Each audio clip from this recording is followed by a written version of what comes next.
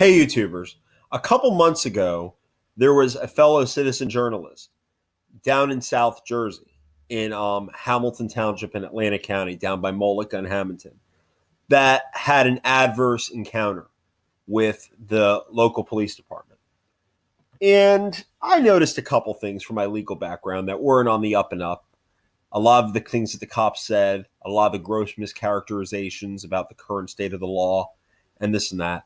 So I filed an OPRA request for the police incident report, and I can and I compared the incident report to the videotaped memorialization of the events, and I got to tell you, there was a lot of discrepancies, i.e., the cops lied through their teeth.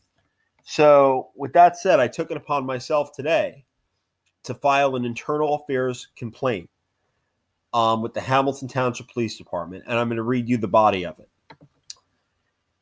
To whom it may concern, this is a letter being sent as an internal affairs complaint against officers DeMeo, Rizzo, and Wilsback for their actions taken in regards to a call for service on approximately September 26, 2017, to the Mays Landing McDonald's in the matter of, I'm not going to say the guy's name, the citizen journalist, and request that the officers' actions are examined for their compliance um, with departmental policy and state law.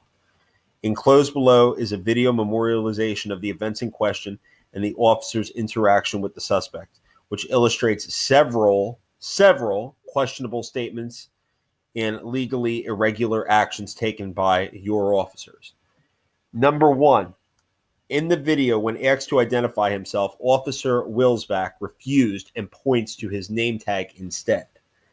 Number two, at approximately 18 minutes 50 seconds to 19 minutes 2 seconds, Officer Rizzo advises Mr. Dun- uh, advises the citizen journalist that he has committed the offense of loitering, which is no longer even an offense in the state of New Jersey and has been constitutionally invalidated for at least the last 20 years. But let's keep lying, officers.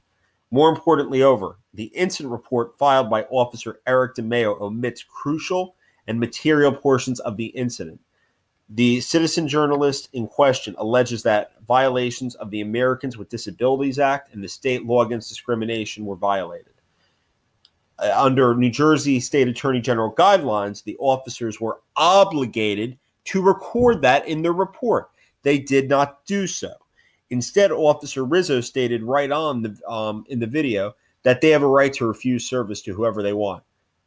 Clearly, this is once again a distorted and mischaracterization of the current state of the law made by one Officer Rizzo of the Hamilton Township Police Department. Concluding, this video looks more like an episode of The Three Stooges or a thug squad than a police officer in a first world country. Thank you for your attention to this matter. We'll see how it goes, folks. Hopefully, one of these bumps will be suspended without pay or written up.